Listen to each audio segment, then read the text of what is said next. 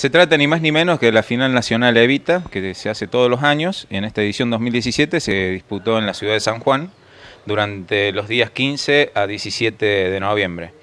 Y bueno, eh, acá Héctor Moreno presente es integrante del seleccionado cordobés mayores de 60 años, que hemos tenido el honor y el gusto de consagrarnos campeones nacionales por primera vez en la historia del ajedrez en Córdoba para esta categoría.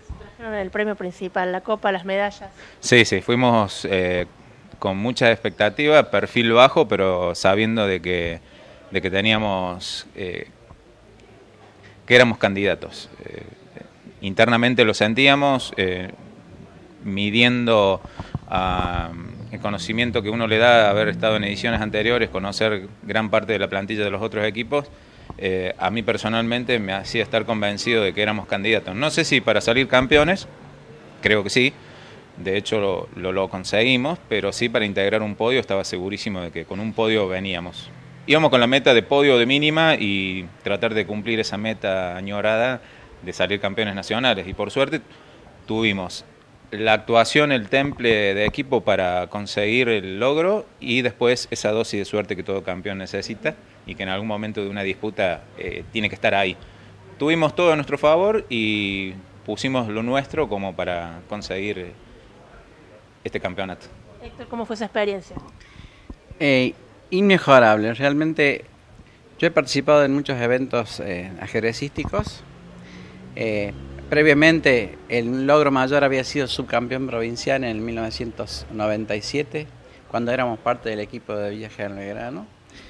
Y, y, esta vez un logro a nivel nacional sería la primera vez que lo logro, con 62 años. La verdad que es un mensaje para todos los adultos de que los sueños siempre están presentes y se pueden cumplir mientras estemos vivos porque eh, hoy en día la información está al acceso de todos, uno se puede preparar gratuitamente dedicándole tiempo. Entonces hay que prepararse y no abandonar los sueños, tanto en ajedrez como en otros deportes.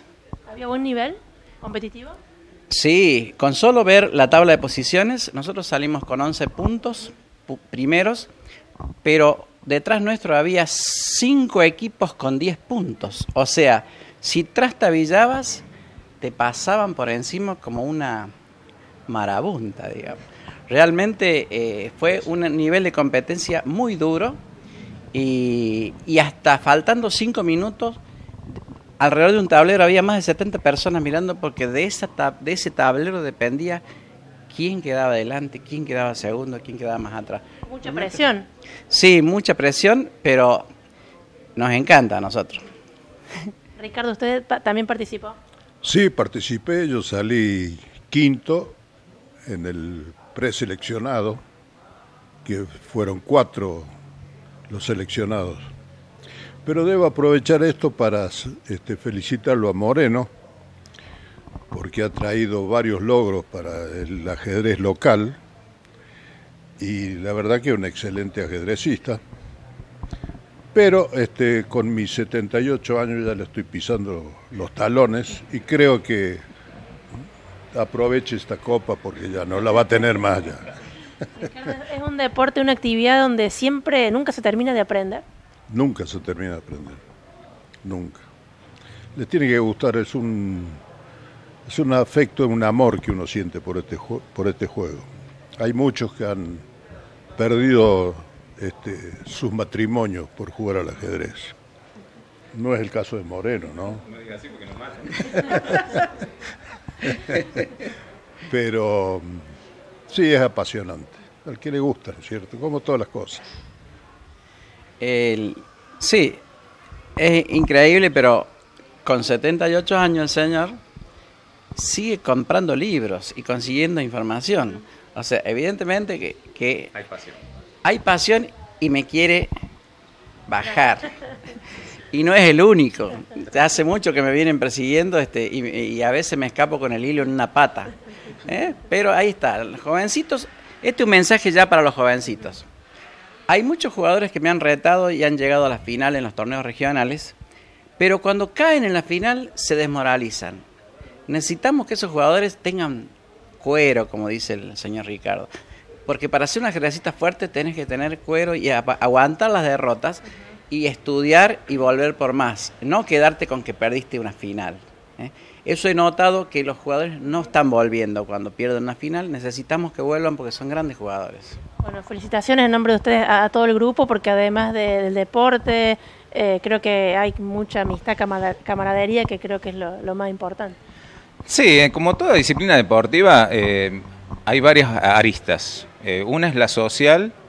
En, este grupo de ajedrecistas que vamos y volvemos, realmente uno se siente que está integrando una familia. Y eso socialmente tiene una repercusión muy positiva. Y esta cuestión de ir hacia mensajes hacia uno u otro segmento etario tiene ni más ni menos, en el caso mío, de no importa si hace ajedrez, hace tenis, la actividad que, le apasione, lo importante es realizar las cosas que a uno le gusta. Cuando una persona hace lo que le gusta es una persona feliz y una persona feliz socialmente es positiva para, ese grupo humano que es una comunidad, una sociedad. Si nosotros vamos en ese sentido, y es el mensaje de mi parte el, más importante que creo que puedo transmitir, eh, soñar en una sociedad distinta y mejor eh, no es una utopía. Así que bueno, que cada uno haga la actividad, o ya sea deportiva, no deportiva, no importa lo que sea. Lo importante es hacer lo que a uno lo hace sentir pleno, lleno de vida. Y creo que ahí está la, la mística. En este caso a nosotros nos toca con el ajedrez y Aprovecho para agradecer a, Ricardo como hizo a Ricardo y en nombre de él a todos los de una generación que han mantenido viva la llama del ajedrez en estos ida y vuelta que hacía alusión al principio. Eh, él es un gran mentor, está volviendo, ha tomado una posta que se la supe tirar hace un año y medio y que se rehusaba a tomar, pero hoy por hoy, eh, para mí que estoy cumpliendo una función dirigencial de paso eh, es un gran soporte contar con el apoyo y, la palabra de alguien con muchos o no tantos años más de experiencia, pero siempre es un es un, una, un manual a donde siempre uno va y consulta cuando tiene que tomar alguna decisión o hacer alguna acción. Así que quiero hacerlo público al reconocimiento de parte de toda la comunidad ajedrecística de, de Villa General Belgrano en especial y del Valle en particular.